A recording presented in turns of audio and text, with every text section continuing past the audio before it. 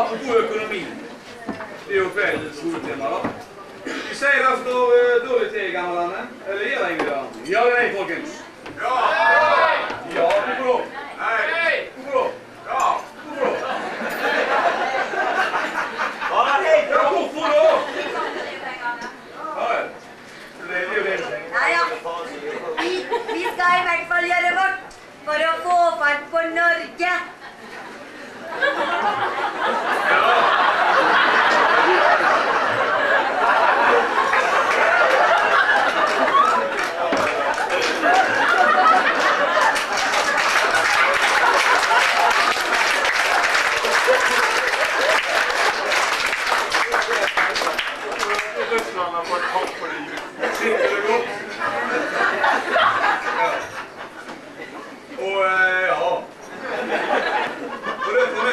de to fremste oppfinnerne som en har etter hans. Ja. ja. ja. De finner opp like fort som tiltakssjefen på Stad Pyrenee. Og like fort som Aksel Kloster finner nye meninger. Ja.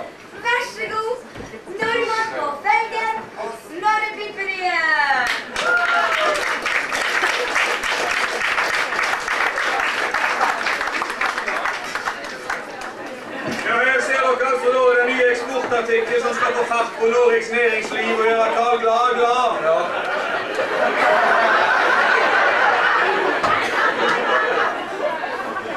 Kan ikke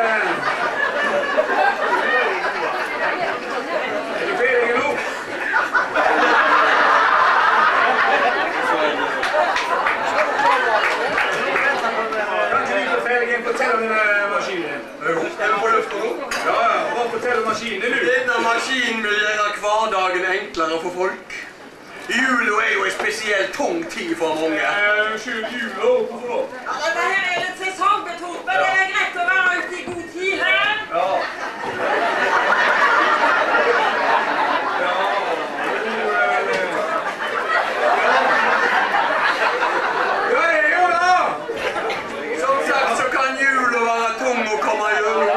Og spesielt når hverdagen begynner den 13. dag jul.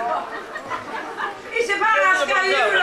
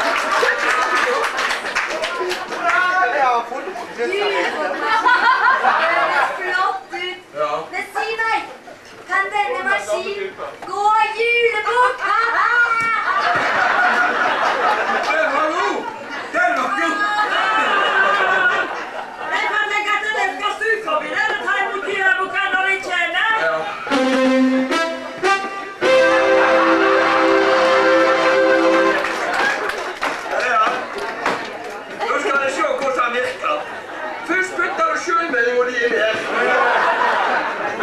Unnskyld, eh, sa du sjømelding opp oppå nå? Jo, for denne maskinen ser du den multipliserer marginalskatten din med antall unger i ditt julebukdistrikt. Ja. Så det er der er trekket fra tida, og så vet han nøyaktig hvor mange julebukker som kommer til deg. Ja. Men eh, hva skjer når julefruktene kommer?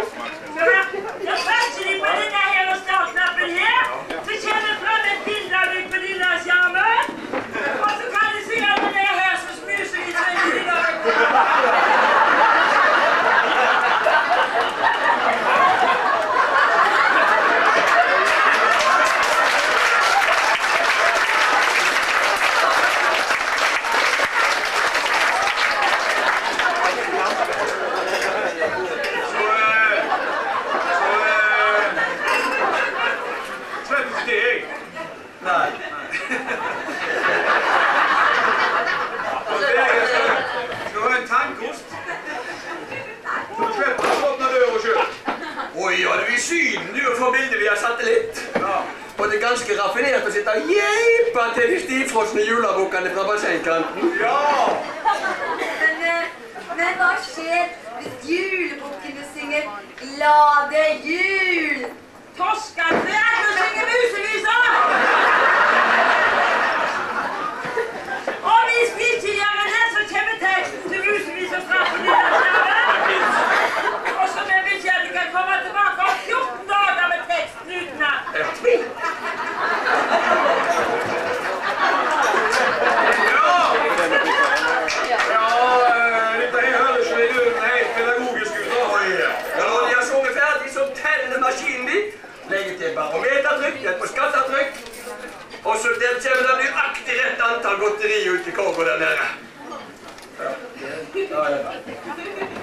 Teraz Hilka będzie na